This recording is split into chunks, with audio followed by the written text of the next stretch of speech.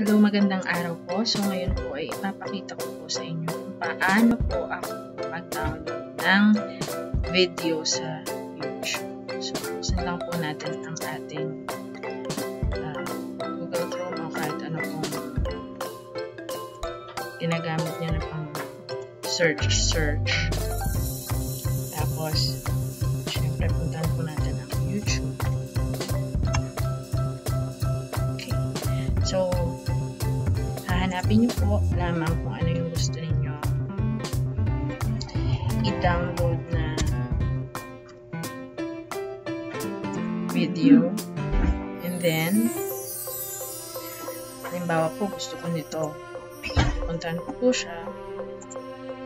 And then, ikakopy ko lamang po ang kanyang uh, URL. So, control C po natin. At, magbukas po tayo ng panibagong um, tab. So, ang isa-search po natin ay save from save from.net. Dito po ako nagda-download ng aking mga uh, kahit anong video from YouTube. So, i-paste lang po natin dyan. I-paste ko na po dyan. So, dito po dito yung inyong gustong i-download na video. And then, uh, click lang po natin ang download. Tapos, meron pong diretsyo, diretsyo na uh, magda-download talaga siya. Pero minsan ganito po ang lumalabas. So, yan. Lalabas po siya dyan. Ang gagawin nyo lang po, right click and then save video as. Ulitin ko po. Dito po, pag lumabas na ito, baliwala lang po yan. Ads lang po yan. Right click.